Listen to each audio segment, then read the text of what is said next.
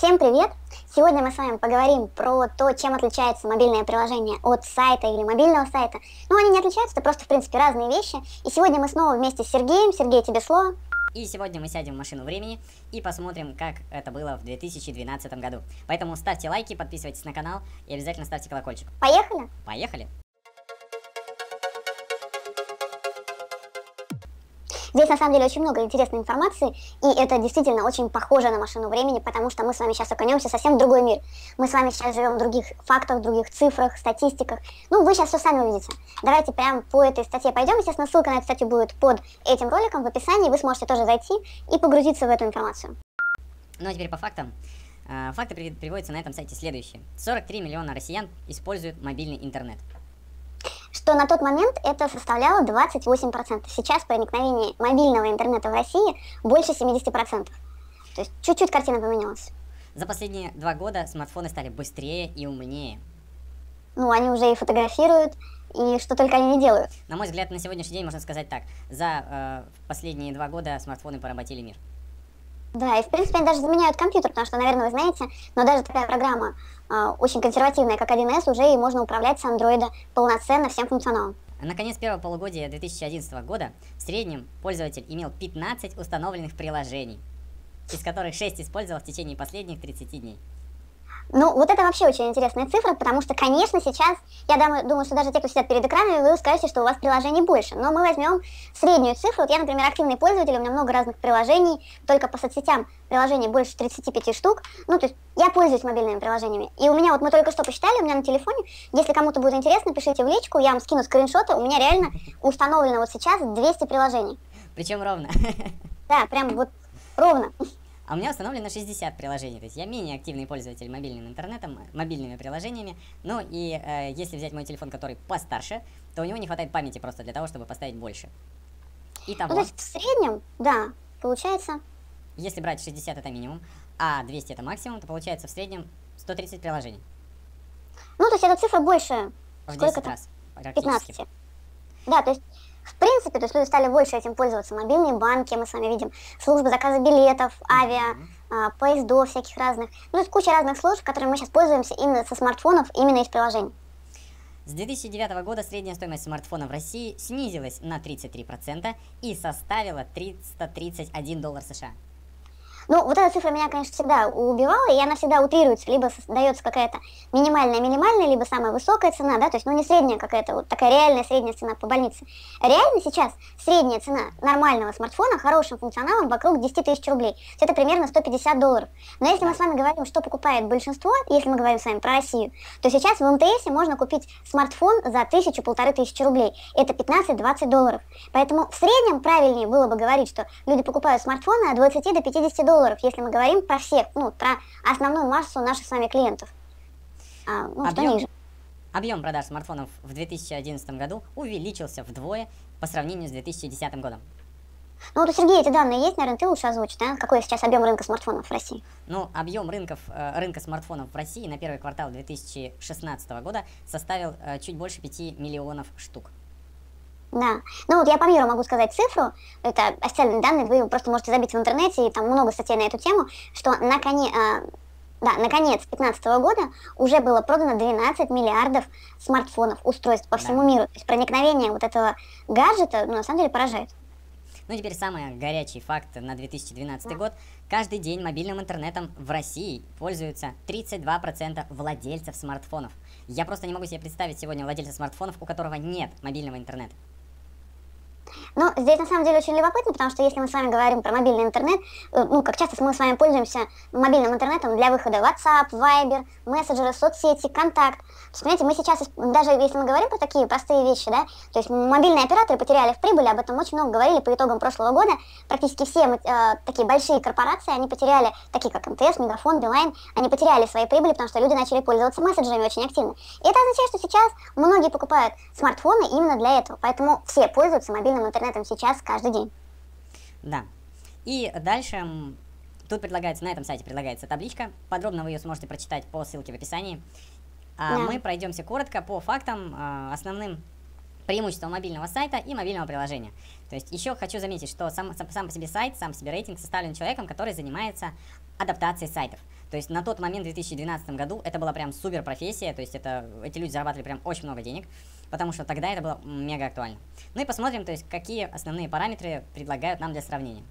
Совместимость, мобильный сайт и мобильное приложение.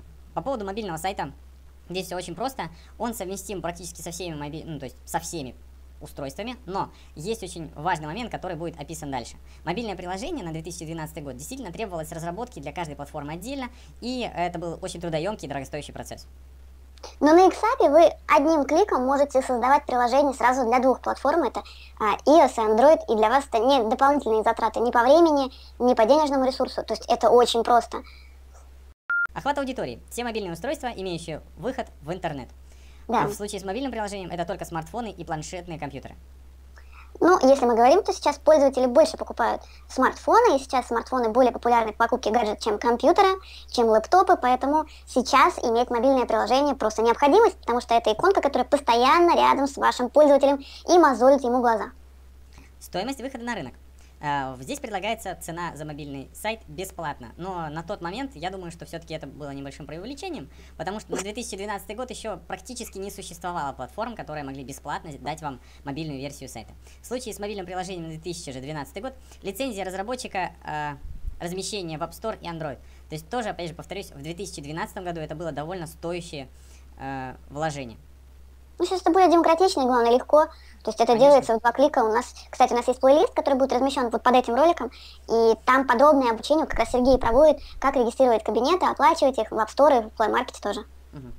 Открытость. Доступен для всех пользователей. А в случае с мобильным приложением доступен только для тех, кто согласился с условиями пользователя для подписчиков.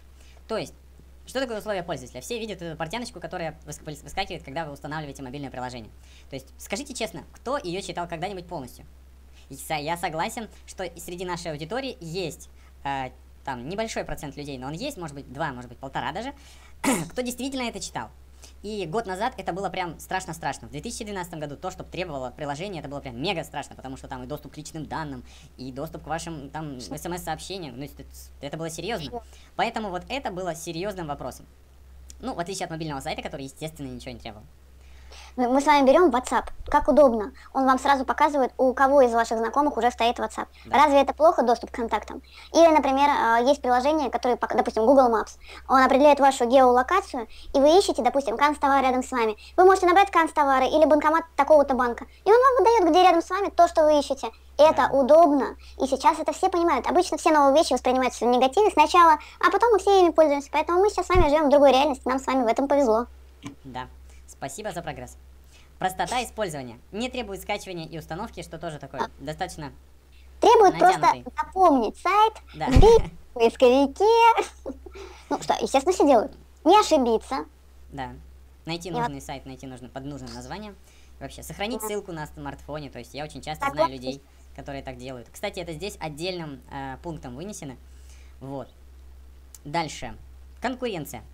Конкуренция среди сайтов для вывода в топ используется SEO. Конкуренция в Android App Store Market, Ovi Store требует э, ресурсы вывод, для вывода приложения в топ. То есть тогда это была платная тема, то есть тогда это просто проплачивали каким-то макаром. Не знаю, как это делается, возможно, существовали какие-то компании, которые про, ну, делали много лайков, делали там много комментов, и это приложение uh-huh. ваше выводило в топ. Сейчас это почти не требуется, потому что если вы просто даете своей аудитории скачивать приложение, то у вас оно автоматически растет в топе, и даже взять ну, там, любого рядового, то есть предпринимателя, даже там турагентства, если он просто будет давать приложение скачивать всем, кто заходит э, к ним, просто посмотреть угу. варианты, то это, ну, очень быстро поднимет в топе. Да, если мы с вами говорим про продвижение сайта, сейчас во всех абсолютно нишах, во всех городах интернет перенасыщен. Да. То есть сейчас все говорят, что площадки будут меняться. Кто-то ушел в группы в интернете, кто-то ушел э, там, в какие-то соцсети, кто-то ушел в мобильные приложения. Но сам интернет, Google, Яндекс, система перегружена, то есть уже некуда делать новый сайт. Поэтому сейчас к большим вопросам. Возможность офлайн использования. Не все телефоны поддерживают. Мне вот Интер... очень интересно стало, да. офлайн использование мобильного сайта. Если, как это? Какие телефоны это поддерживают? А, а в, в случае с мобильным приложением мы просто имеем ответ «да». Ну, да. Ну, есть, да, есть. Иконка на экране. Да. В скобках, по сути, закладка, открывающая окно браузера. Оно, как бы, Я вот когда готовились к этому ролику, да. я у Сергея спрашиваю, я закладки в браузере даже не делаю. Сергей говорят, что ну, на компьютере это достаточно популярная вещь. Я не знаю. Кстати, кто делал хотя бы раз в жизни закладку на мобильном, см, да, на смартфоне, пожалуйста, отпишитесь в комментариях, то есть чтобы вот это вот была иконочка, как вот знаете, как ярлык на экране вашего ПК, да, то есть обязательно отпишитесь и, пожалуйста, скриншот, мне прям, потому что я ни одного человека еще не знаю, кто бы так делал. Ну, в случае с э, приложением, естественно, да, иконка на главном экране, это тот козырь, который просто размазывает любой мобильный сайт или там группу. Кстати, о группах мы поговорим отдельно. Да. Поддержка обновлений и bugfixing.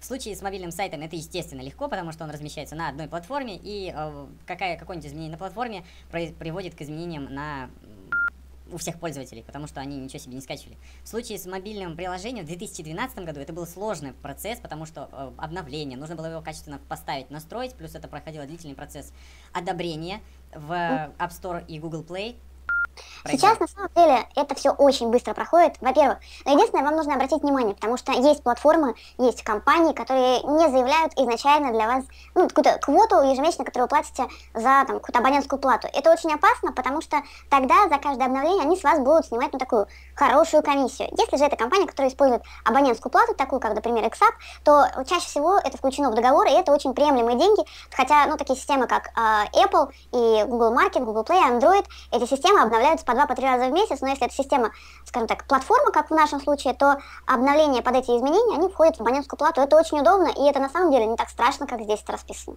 Угу. А, следующий пункт – поддержка графики. Сайт мобильный плохо поддерживает тяжелые изображения. Ну, все понятно, то есть если у вас плохой интернет, то он, простите, будет очень долго грузиться и медленно работать, и это очень жутко раздражает в сегодняшнем темпе жизни. В случае с мобильным приложением, ну, просто да. Ну, потому что да, мобильное приложение поддерживает э, любой уровень сложности графики.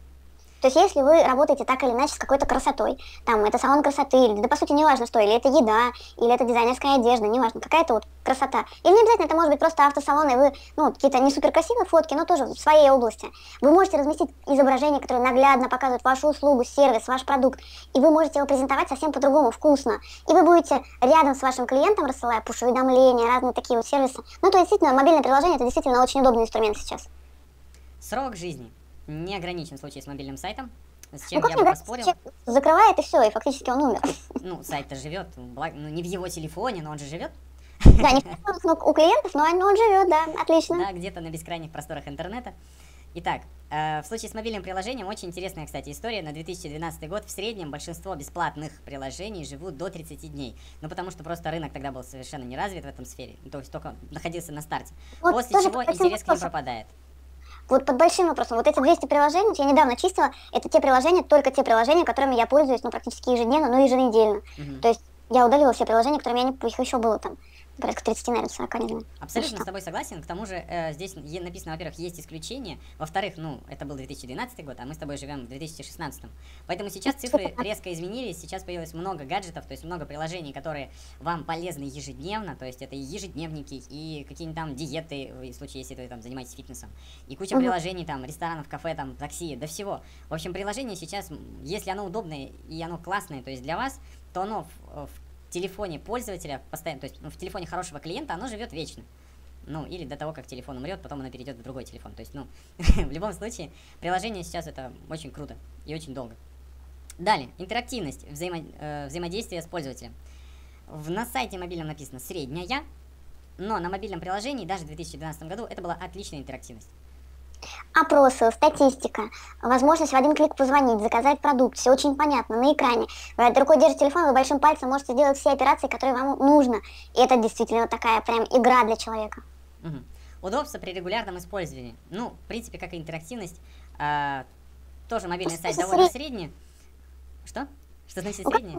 Регулярно, вот, со смартфон... вот кто выходит со смартфонов в интернет? Мы с вами пользуемся, окей, Google, мы с вами пользуемся, там, не знаю, социальными сетями, фактически там Google может быть, и это все, мы пользуемся новостными приложениями. Какими сайтами мы пользуемся? Как, какое ежедневное использование? Регулярное тем более. Да, ну, естественно, приложение для этого более чем подходит. Оно для этого и заточено. То же самое, персонализация. То есть средний мобильный сайт больше нацелен на сервис, чем на пользователя. И обратная ситуация уже в 2012 году была а, с мобильными приложениями. Мобильное приложение очень хорошо оптимизировано, то есть персонализировано. Приложение больше нацелено на индивидуального пользователя, чем мобильный сайт. Потому что э, ну, мобильное приложение сделано в первую очередь для того, чтобы клиенту было удобно.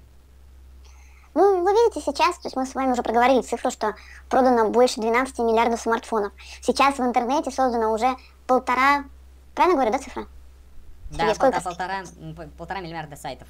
Причем это, по-моему, практически точная цифра, то есть она может быть даже чуть больше на сегодняшний момент. Да, ну скорее всего даже больше.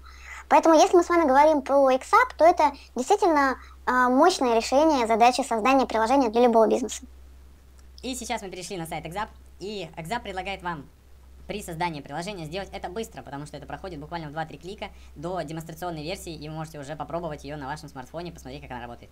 Создается она очень просто, то есть Exap максимально адаптирован под э, простого пользователя, то есть под человека, такого как э, Анастасия, который пользуется в основном социальными сетями, да, то есть шедеврально ими пользуется, то есть просто маг-волшебник в этом деле, но очень слабо разбирается в программировании. Э, управление это еще одна фишка. В Exap это не просто платформа для создания приложений. Это прям полноценный комплекс, сервис. То есть, э, когда вы создаете мобильное приложение на Exap, вы получаете э, себе в помощь админку, то есть пульт управления вашим приложением. Это раз. И второе, статистика. Важнейший инструмент в любом бизнесе – это статистика, считывание статистики с вашего бизнеса. Подробнейшая статистика прямо вот, вот прямо внутри. Да, и, естественно, это размещение сразу на двух платформах. Это и iOS, и Android, и вы сразу а, на этих двух платформах публикуетесь. Вам не нужно дополнительно платить деньги за создание приложения там, на Android или на iOS, есть это сразу в комплексе вы это получаете. Другой момент очень важный. С одной стороны, вы задействуете несколько видов реклам. Вы у человека находитесь на телефоне, он постоянно вас видит у себя на главной странице своего телефона. Это такой имиджевый инструмент. Когда у него всплывает в голове, что ему нужен хороший юрист, он вспоминает про вас. А, когда ему нужно поделиться вами, то есть визитку он может не найти, контакт, телефон может поменяться, но он может зайти в ваше приложение, нажать на кнопочку «Поделиться» и отправить в любое приложение или в контактную книжку смс-кой а, ваши контакты, контакты вашего приложения, а, ваш телефон, отправить вашу информацию, то есть рассказать про вас, оставить отзыв про вас в соцсетях в один клик. Это очень удобно. То есть сарафанное радио с приложением упрощается. Этот процесс ускоряется вот передача вас из руки в руки. Другой момент, то есть если мы говорим про входящий трафик, если вы его цепляете на мобильное приложение, то получается, что вы а, и сделку саму закроете быстрее, потому что в приложении вы можете сделать дорожку для принятия решения. И с другой стороны, вы еще можете работать пуш-уведомлениями, и это позволит вам выстроить отношения с вашими клиентами. И это как раз и показывает то, что этот инструмент, если мы говорим с вами про рекламу, про закрепление отношений с вашими клиентами, это самый эффективный инструмент, который вообще можно было себе представить. Все ссылки, которые вы сегодня видели, там, вся информация, которую мы сегодня озвучивали, мы опубликуем под этим роликом, вы сможете перейти, посмотреть, почитать. И контакты, естественно, тоже будут под роликом Сергея и мои. Да, поэтому подписывайтесь на канал, ставьте обязательно лайки, подписывайтесь на колокольчик, чтобы получать э, обновление канала прямо сразу в момент. И м, до новых встреч!